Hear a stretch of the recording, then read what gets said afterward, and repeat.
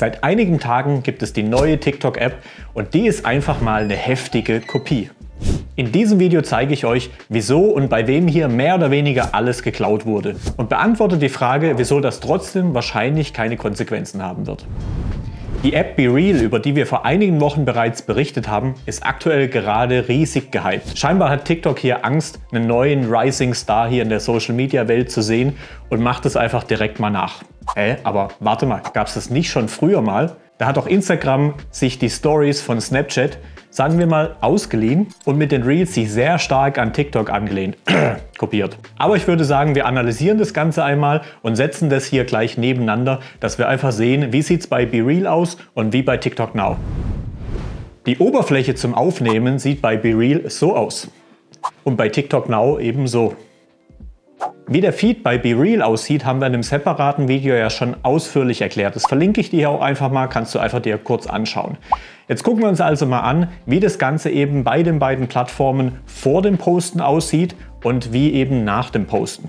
Wie wir sehen können, vor dem Posten ist bei beiden eben noch nicht zu sehen, was meine Freunde denn so alles gepostet haben und danach kann ich es eben sehen. So, das heißt, das Posten selbst und die Timeline ist doch ja, ziemlich ähnlich. Da würde ich sagen, switchen wir doch einfach mal ins Profil. Im Profil kannst du bei BeReal deine Posts der letzten Tage sehen. Und wie das Ganze wohl bei TikTok Now aussieht, ja, kannst du es vielleicht schon mal raten. Du siehst es ja auch schon ganz genauso. Ja, aber kommen wir vielleicht jetzt zu der spannenden Frage. Wo unterscheidet sich denn das Ganze? Technisch ist es so, dass du bei BeReal ein 2 Minuten Fenster hast, um deine Aufnahme zu machen. Danach wird es als Late gekennzeichnet. Bei TikTok sind es 3 Minuten. Du hast also ein bisschen mehr Zeit. Zudem hast du bei TikTok Now auch die Möglichkeit, Videos aufzunehmen und nicht nur Fotos wie bei BeReal. Ich gehe mal stark davon aus, dass es im Grunde die gleiche Engine ist wie in der originalen TikTok-App und die können natürlich Videos schon gut handeln. Was mich bei BeReal immer sehr, sehr gestört hat und da spreche ich aus Erfahrung eben als Geschäftsführer von einer App-Agentur mit irgendwie knapp 50 Mitarbeitern, kenne ich das aus dem FF. BeReal hat sich da eine wirklich große Challenge genommen. Sie leiten nämlich im Grunde all ihre Nutzer ziemlich zeitgleich einmal am Tag in ihre App. Und das auf den Servern auszuhalten ist nicht ganz einfach. Die Problematik hat natürlich TikTok Now genauso, aber TikTok hat natürlich schon ein viel größeres Setup an Servern und kann das Ganze halt eben viel leichter verkraften. Also bei BeReal ist dir vielleicht schon aufgefallen, wenn du es selbst nutzt, dass du beim Aufnehmen eben das oftmals eine ganze Weile lang geht, bis es auch wirklich abgeschickt ist. Das ist mir bei TikTok Now noch gar nicht passiert. Auf der anderen Seite muss man sagen, was mir bei TikTok Now wirklich heftig auf den Keks geht, sind die Benachrichtigungen.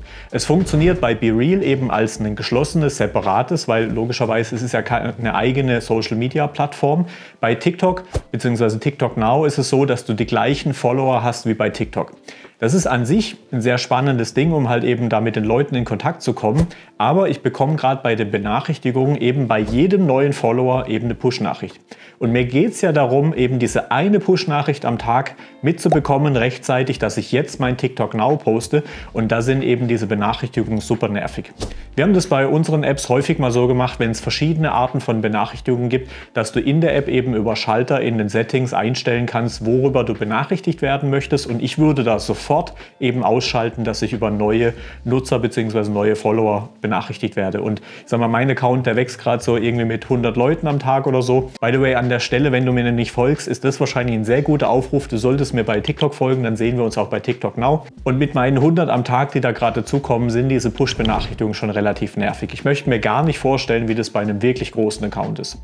Was ich aus Creator-Sicht eigentlich sehr, sehr spannend finde, dass es eben die gleiche Community ist. Das heißt, jeder, der mir bei TikTok folgt, kann, wenn er die TikTok Now App installiert hat, auch wirklich meine aktuellen TikTok Now sehen. Und das finde ich sehr, sehr spannend, um halt eben eine Connection zu der Community zu bekommen. Bei BeReal ist es, wie gesagt, was komplett eigenes und abgeschottetes, wo ich mir gegenseitig folgen muss.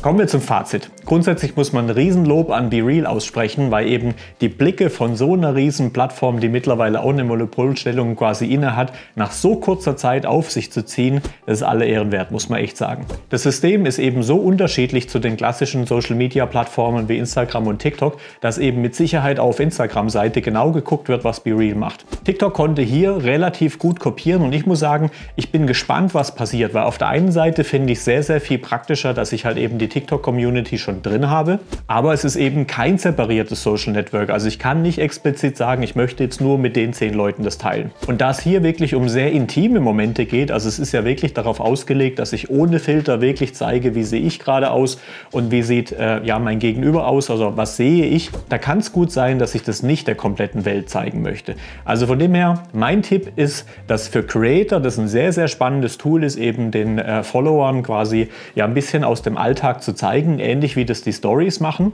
Auf der anderen Seite aber Be Real wirklich eine sehr, sehr gute Chance am Markt hat für die Menschen, die eben keine große Reichweite haben und wirklich eben im näheren Freundes- und Bekanntenkreis einfach sehr intime Momente teilen wollen und damit zeigen wollen, wie geht es mir denn gerade, was mache ich denn gerade. Wenn du das jetzt komplett anders siehst oder mir völlig zustimmst, dann bin ich mal sehr gespannt. Lass mich es gerne in den Kommentaren mal wissen. Wir können da gerne drüber diskutieren.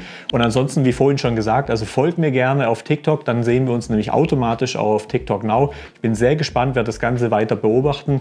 Und wenn wir da mal ein Update machen sollen, vielleicht in einem halben Jahr oder so und mal schauen, welche von beiden denn noch lebt, dann lass mich es auch gerne mal wissen. Und dann können wir noch mal in die Kommentare schauen und schauen, wer in der Prophezeiung recht hatte. Ja, und dann würde ich sagen, dass du das nächste Video kommende Woche, was auch wieder richtig spannend wird, nicht verpasst. Einfach am besten den Kanal abonnieren und die Glocke anmachen, denn nächste Woche, wie gewohnt, Dienstag 18 Uhr, geht es mit dem nächsten Video weiter. Lass es gut gehen. Bis dann. Ciao, ciao. Wenn du so weit durchgehalten hast und immer noch keine so richtige Ahnung hast, was eigentlich Be Real ist, du hast es ja jetzt schon kurz gesehen, dann verlinken wir dir jetzt an der Stelle einfach nochmal das bisherige Video. Äh, ist erst ein paar Wochen alt, weil der Hype um Be Real wirklich sehr, sehr aktuell ist, aber eben ein super spannendes neues Netzwerk, was Instagram und TikTok angreifen kann. Und hier haben wir sehr ausführlich erklärt, was eben der Unterschied zu den klassischen Social Networks ist. Also schau es dir gerne mal an.